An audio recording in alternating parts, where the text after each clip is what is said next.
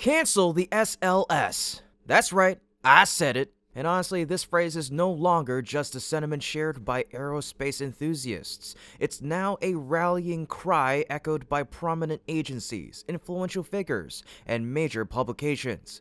Even the US Space Force has voiced concerns.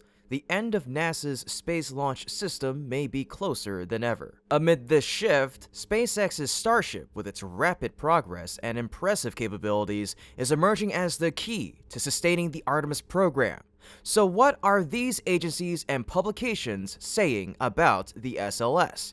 And what might Artemis look like without NASA's flagship vehicle? Join us on today's episode of Great SpaceX to dive into the latest developments surrounding SLS and the future of Artemis. As the launch of Artemis 2 approaches in less than a year, questions around NASA's readiness and program costs are intensifying.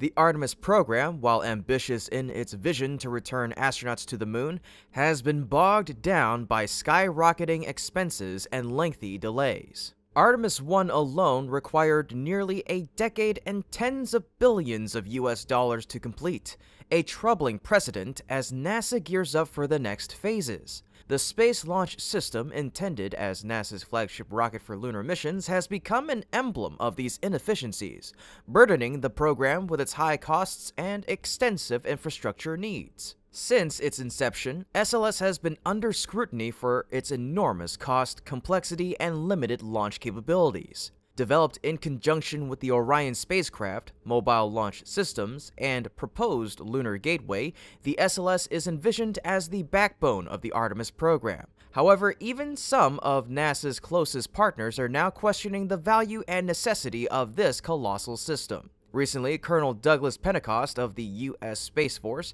expressed doubts about the SLS's relevance for defense or commercial purposes, noting, It's a capability right now that we, the DoD, don't need. His remarks suggest that within the Department of Defense there's little interest in leveraging the SLS for missions due to the availability of more cost-effective alternatives. Cristina Chaplain, former assistant director at the Government Accountability Office, has voiced similar concerns. She highlighted SLS's production inefficiencies, stating, I don't see the cost going down at this point to be competitive. Chaplain pointed out that the SLS lacks the streamlined factory-style production of private sector rockets, resulting in cost overruns with little chance of economic improvement. Without the manufacturing efficiency seen in companies like SpaceX, SLS's financial sustainability remains dubious. The question of SLS's future viability has led to speculation about whether it should continue. Space journalist Eric Berger has even suggested there's a 50-50 chance that SLS will be cancelled, arguing that there are other ways to get Orion to the moon. This sentiment is shared by media mogul Michael Bloomberg, who recently criticized the Artemis program's financial approach. Bloomberg argued that SLS is a colossal waste of taxpayer money, with its cost structure including $23 billion for development and $4 billion per launch, outstripping NASA's initial projections. One of Bloomberg's most pointed criticisms is that even if the SLS does become fully operational, it isn't capable of delivering humans to the moon independently. In his words, it isn't even powerful enough to actually get anyone to the moon, at least not in its current configuration.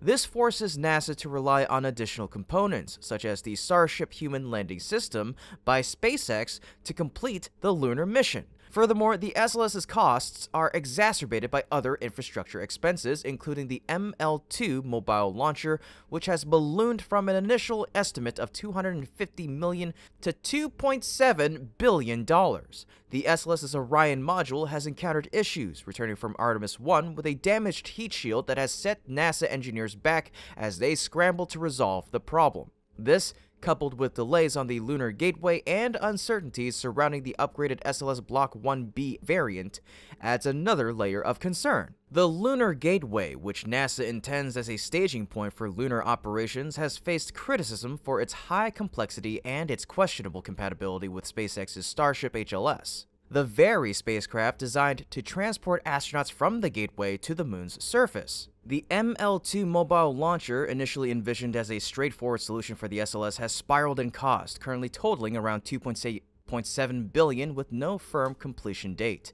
Its contract has logged over 850,000 overtime hours over the past two years, reflecting just how intricate and time-consuming the process has been. These accumulated setbacks and cost overruns are taking a toll on NASA's timeline and budget, further delaying Artemis's objectives and risking public confidence in the program. In sharp contrast to SLS's limitations, SpaceX's Starship presents a more streamlined and cost-effective path to the moon. Unlike the SLS, which is expendable, Starship is fully reusable, promising substantial cost savings and faster turnaround times. Its ambitious design allows for in-orbit refueling, enabling long-distance lunar missions without the need for extensive, expensive support infrastructures like the Lunar Gateway.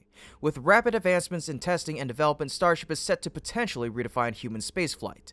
SpaceX has made significant strides in recovering and launching its Super Heavy booster using the Mechazilla system, a revolutionary setup that will support Starship's mission cadence. Recent developments in Starship's vertical landing and payload capabilities suggest that it may be ready for lunar operations by 2026, aligning with NASA's planned Artemis missions. Bloomberg summarized Starship's potential succinctly, stating, A reusable SpaceX Starship will very likely be able to carry cargo and robots directly to the moon, no SLS Orion Gateway Block 1B or ML2 required, at a small fraction of the cost. With this in mind, Starship offers a compelling alternative to SLS, particularly as NASA faces growing pressure to find more financially sustainable approaches. The challenges facing SLS underscore a need for NASA to reconsider its approach to the Artemis program. Given the substantial investments and limited flexibility of the SLS, it may be time for NASA to lean more heavily on private sector solutions, specifically those offered by SpaceX. Utilizing Starship as a primary launch vehicle could streamline Artemis's goals, cutting down on expenses and eliminating unnecessary logistical components like the gateway. Embracing a partnership with SpaceX and leveraging Starship's capabilities would enable NASA to achieve its lunar objectives faster and more cost effectively. This approach would allow Artemis to focus more on resources on mission critical technologies rather than maintaining a high cost infrastructure centered around the SLS. As NASA faces the dual pressures of rising costs and increased expectations, a shift in strategy may be essential.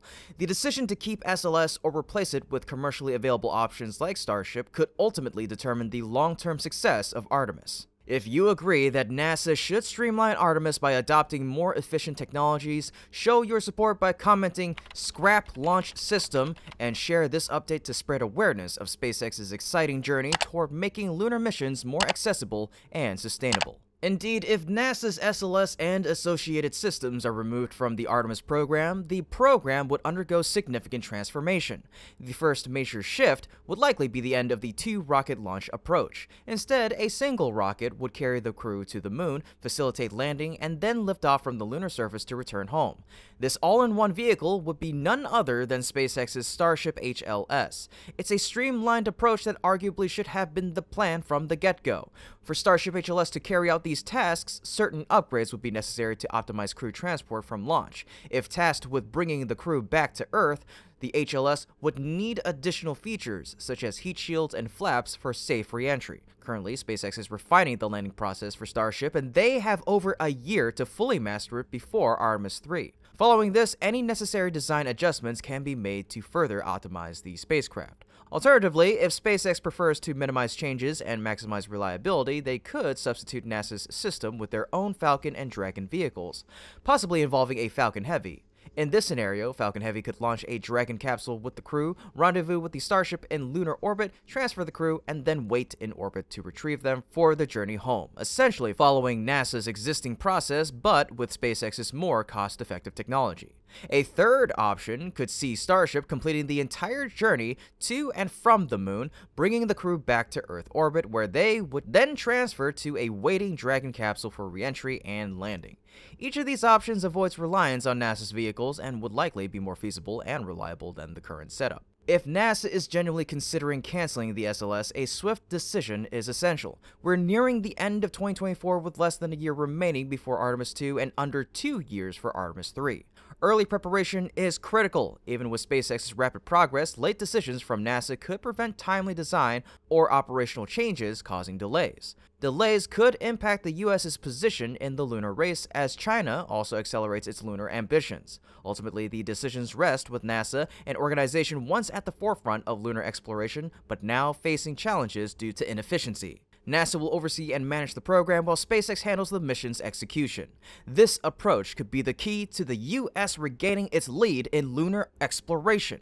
What are your thoughts on the matter? Feel free to share your perspective in the comments section down below. Otherwise, folks, that's about it for today's episode. Thank you so much for tuning in, and as always, this has been Kevin from Great SpaceX. Until next time, keep looking up.